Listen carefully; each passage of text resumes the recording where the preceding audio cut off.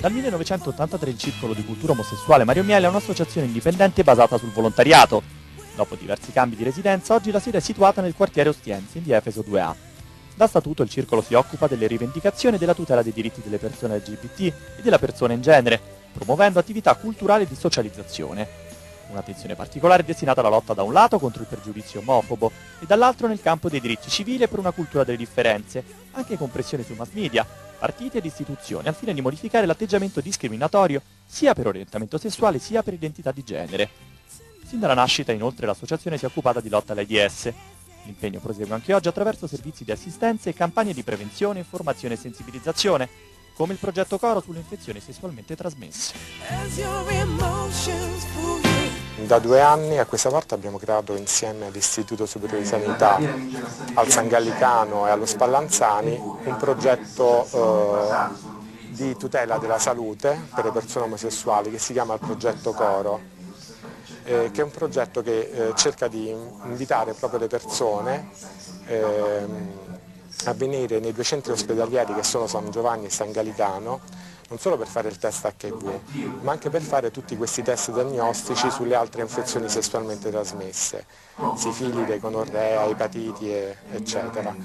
E, eh, la cosa più invitante, tra virgolette, per le persone è che tutti questi test sono gratuiti. Dal prossimo anno il servizio di unità di strada investirà una più ampia fetta di territorio regionale. Un'equipe di medici e psicologi opererà nei tradizionali luoghi di ritrovo e nelle scuole utilizzando innovative campagne di sensibilizzazione. La necessità di un impegno maggiore nasce anche dagli ultimi dati sulla diffusione del virus HIV e i nuovi casi di AIDS. Secondo l'ultimo rapporto della Regione Lazio, oltre il 90% delle nuove diagnosi di infezioni nel 2007 riporta come fattore di rischio i rapporti sessuali, mentre circa il 50% delle persone scopre di essere sieropositivo solo al momento della diagnosi della malattia conclamata, non avendo così beneficiato delle terapie disponibili, oltre al fatto di non aver usato precauzioni per prevenire la trasmissione del virus.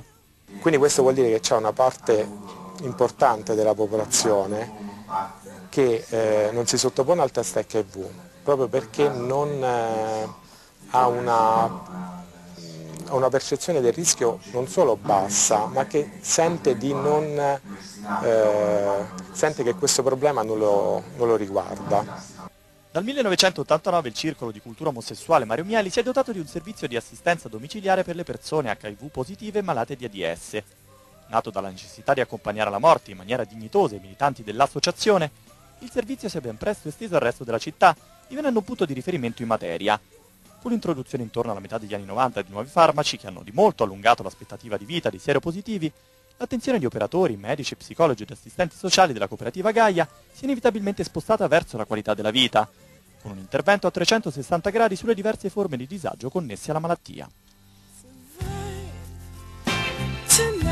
il servizio continua ma fondamentalmente e fortunatamente non si occupa più di accompagnare la persona alla morte, perché la persona adesso sì, va in ospedale per il day hospital, per le cure, però comunque può, nella maggioranza dei casi, eh, ricominciare anche a lavorare, per esempio. Quindi eh, si cerca di creare una rete, un supporto per quello che è la, la vita della persona a 360 gradi, eh, sia nella vita sociale quindi nella vita lavorativa.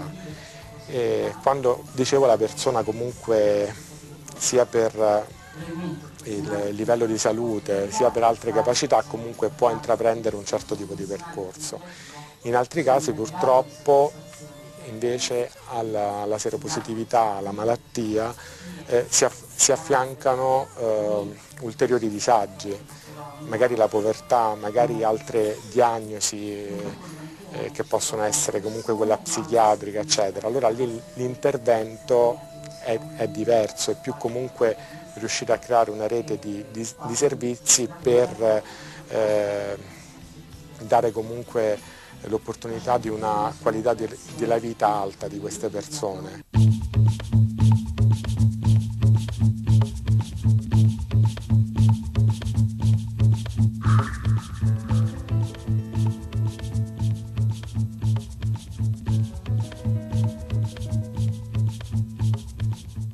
Nell'ambito dei progetti sull'AIDS un posto di riguardo va scritto ai gruppi di autoaiuto per persone HIV positive, uno spazio di confronto e condivisione nato circa dieci anni fa che agisce su due piani, quello relazionale affettivo, familiare e di coppia, e quello dell'accettazione e gestione delle terapie mediche e farmacologiche. Gli obiettivi quali sono? Quelli di mettere a confronto storie di vita diverse, perché si pensa che avere uno stesso problema vuol dire essere uguali, no? come se scattasse una sorta di fratellanza a qualche livello. Scoprire che invece ognuno, ogni singola persona darà una sua specifica risposta all'HIV è una cosa importante per riappropriarsi proprio della propria individualità che sembra quasi annullata no? nel primo momento, durante la prima fase, l'impatto della diagnosi, la persona sente che quello che viene negato è il principio della sua identità. Il gruppo ha l'obiettivo di far riappropriare le singole persone di un tempo che sentono negato, quindi di un progetto di vita che va ristrutturato. Para cada despertar, un jardín de paz il gruppo ha delle finalità terapeutiche, ha delle finalità trattamentali, non a caso è un gruppo di autoaiuto anomalo questo, perché è gestito da una psicologa, quindi l'obiettivo è quello di aiutare le persone ad elaborare un fatto critico, quindi a risolvere quella crisi, quella frattura che l'impatto con la diagnosi inevitabilmente crea su un equilibrio di vita preesistente. In questo contesto eh, perché il meccanismo della condivisione eh, è, è il migliore? Perché viene scelta appunto la, la decisione del, del gruppo?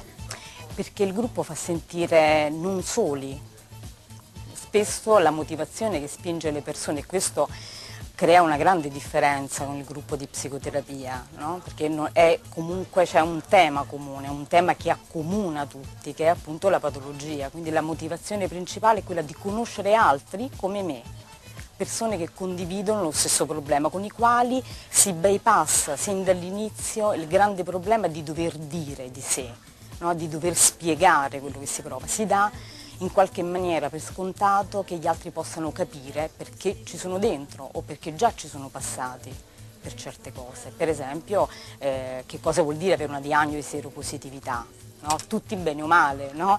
eh, hanno sperimentato, eh, chi in una maniera più drammatica, chi con delle risorse maggiori, però la crisi iniziale è una cosa assolutamente certa che tutti possono capire.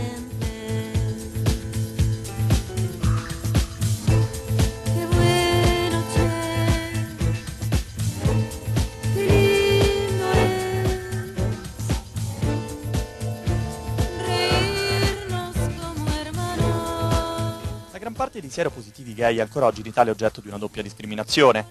Nonostante i progressi degli ultimi anni nel nostro paese, non ci si è riusciti completamente ad affrancare dall'idea di categoria a rischio, per sostituirla con quella dei comportamenti. Sono ancora tanti quelli che preferiscono trincerarsi dietro l'anonimato, pur non avendo nulla da nascondere, perché temono il peso del giudizio, dell'emarginazione, magari sul posto di lavoro. È il caso di Luca, un nome di fantasia che ci racconta la sua storia. Qual è stata la prima cosa che hai pensato quando hai saputo di essere sieropositivo? Ho pensato subito diciamo, al mio ragazzo perché stavo con una persona da tanto tempo e quindi eh, ho pensato se pure lui poteva essere sieropositivo. Quindi diciamo, abbiamo fatto un percorso presso dei centri anche a livello di terapia, eh, sia individuale che di coppia, perché lui non voleva all'inizio eh, farsi il test. Poi dopo diciamo, l'ha fatto, dopo circa un anno è risultato diciamo, negativo. Quindi diciamo, a volte la cosa è anche un po' strana perché io e lui non usavamo precauzioni, e... però non è successo niente. Eh... Come hai vissuto questa condizione? Ma all'inizio diciamo, sicuramente in modo difficile perché erano anni duri. Eh, parliamo di 15 anni fa, di conseguenza l'informazione era molto scarsa, c'era un'informazione sbagliata, eh, c'era la paura e quindi ho avuto difficoltà.